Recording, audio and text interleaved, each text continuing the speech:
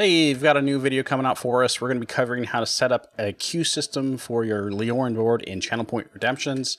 I've used to use an old school variables, and it's about time I upgrade myself. So guess what? You get a little bit of upgrade if you want to use this. I'll make it available for download. Um, I want to give a shout out and thanks to Andi Lippy, who I basically just used his old school video. I'm going to go ahead and link his video down here below.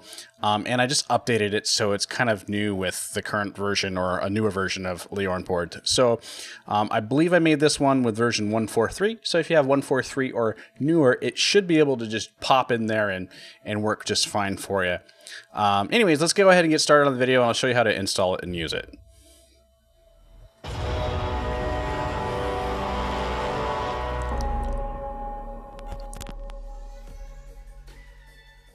Welcome to my YouTube series. Here's where I look at anything to do to help you out on your stream, whether that's visual, audio, or brand hey, you know what we're doing, what we can to help each other out here. It's pretty much what it's all about. If you're new to the channel, please help me out with a sub button. It's pretty easy. It's free. It's right down there.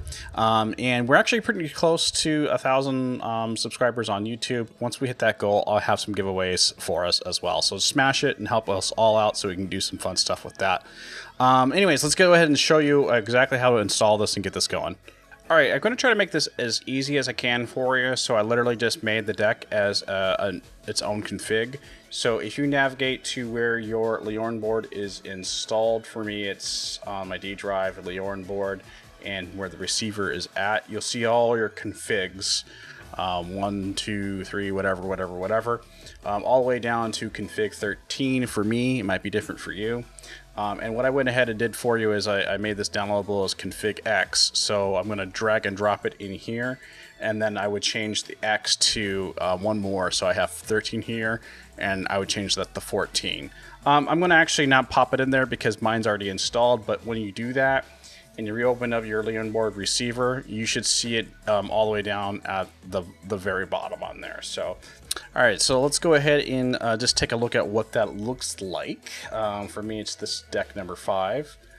Um, I literally just went a little crazy with it. I have 50 slots for you. So um, this is very similar again to Andi's setup on there where this is the button that would trigger. So you could either press the button or if you have it set up as a Twitch trigger with a, um, a channel point, it's easy to do. I've made millions of videos on how to do channel point redemptions as well. Um, after you hit one of these buttons, it feeds into the queue, does this little math, and then it spits out this as your actual action. So you're going to want to put your um, visibilities ons and offs and motions and all that kind of stuff in here, and it should fire off just correctly. So let's just take a look quick at what how it's set up. Um, pretty simple on there. It's just using the stackable queue system. Um, after it stacks to the top, it goes ahead and triggers ID31. That's this main button here where it does most of its thinking.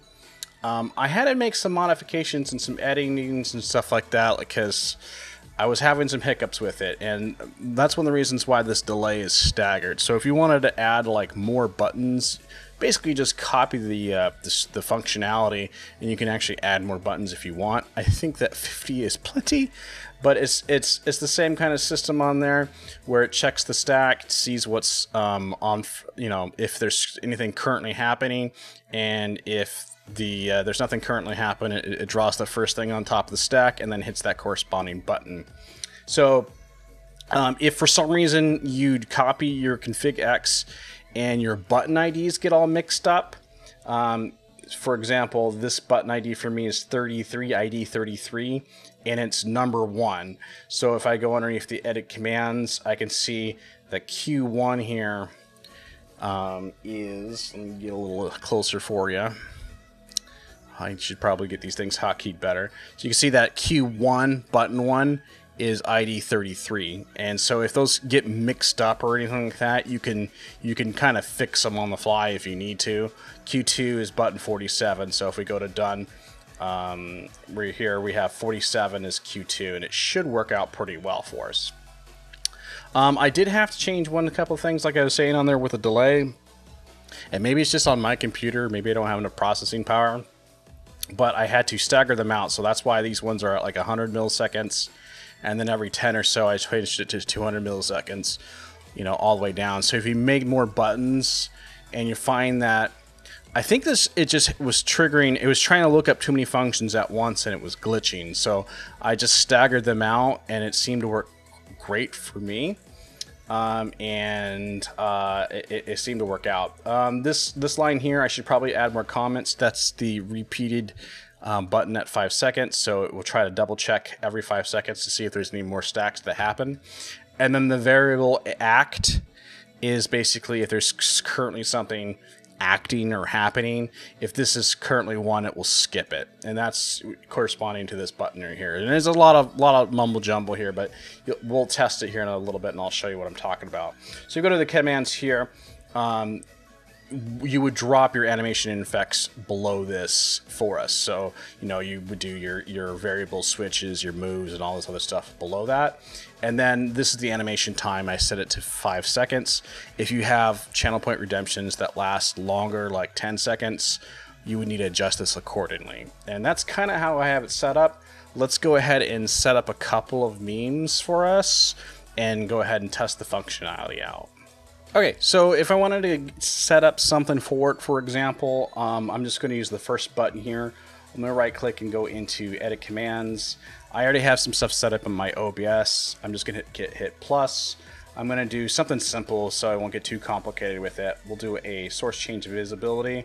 Probably my game screen effects um, scene. That's where a lot of my stuff is at. We'll do, I'll do like, uh, what's a quick one?